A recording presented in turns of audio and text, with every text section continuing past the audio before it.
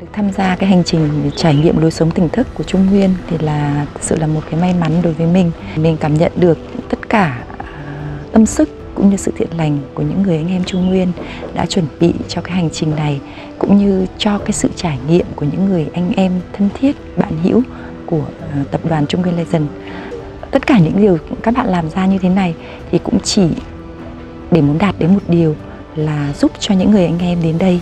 có thể có được cái sự kết nối cao nhất đối với chính bản thân mình, kết nối với thiên nhiên, kết nối với con người và đặc biệt là kết nối với cả cái lối sống, một cái hành trình đi vào bên trong của mỗi người. Và xin chúc mừng các bạn và các bạn đã làm được điều đấy và chúng tôi thực sự biết ơn vì chúng tôi đã có được cái sự kết nối đấy ở bên trong của chính bản thân mình.